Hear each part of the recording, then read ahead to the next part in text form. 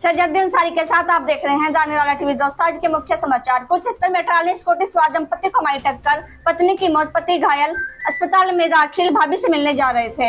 हरियाणा में चार दिन बारिश का अलर्ट, हवाई भी चलेगी, बीस जिलों का तापमान तीस डिग्री पार, चौबीस घंटे में नानौर सबसे ज़्यादा गर्म।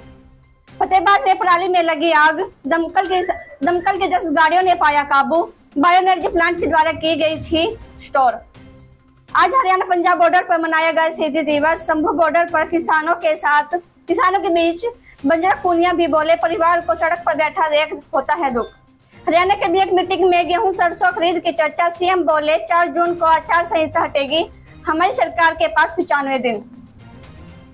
बेटे के सामने सड़क पर पिता की मौत। रोहतक में सुबह सैर के लिए निकले थे दोनों। कैंटर चालक ने लापरवाही से ड्राइविंग करते हुए कुचला रूस में उसका आतंकी हमले में मरने वालों की संख्या तिरानवे हुई। हमले में शामिल ग्यारह लोग गिरफ़्तार।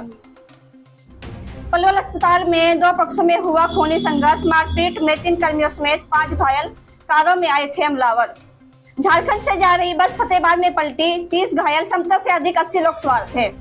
हरियाणा में होली पर डीजीपी के सख्त आदेश, हुड़दंग मचाने वालों के लिए पैदल गश्त करेगी पुलिस।